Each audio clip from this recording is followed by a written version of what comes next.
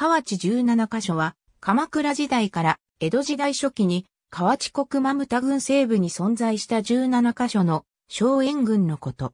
単に17家とも言う。文禄3年の文禄定完成までは、淀川には、現在の寝屋川市大間付近から南流する支流が存在した。この支流は、宝永元年に付け替えられるまで北流していた、大和川と大東市住の道付近で合流して、西に流れを変え、大阪市の天満橋付近で、淀川本流に再び合流していた。マムタ郡は、この淀川南流によって東西に二分されていたが、この西半分が河内17カ所にあたる。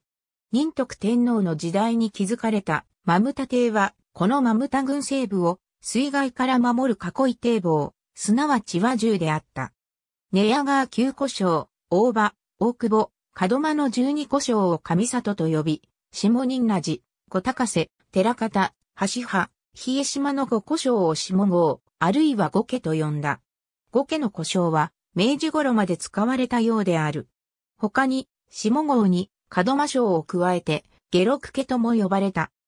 淀川の水運も含めて計、大阪間の交通路であったこと、摂津国江波省と陸路で接続していたこと、河内国内では、た地域と河川で区切られていたことから、地理的、軍事的に区別された。